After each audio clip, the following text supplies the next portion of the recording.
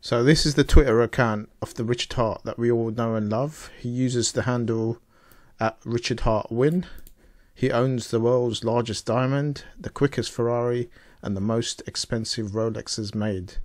27 million to charity, 10 million watches, 3 million cars. And we know he's almost at 300,000 followers now, which is brilliant. But did you know in India there's another Richard Heart who has even more followers 403,000 followers. So this Richard Heart is even more famous than our Richard Heart here.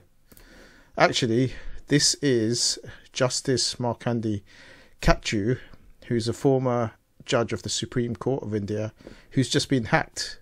For some strange reason, the hacker has changed his account and it's currently live. I don't know how long. It'll probably be gone by the time this recording's over.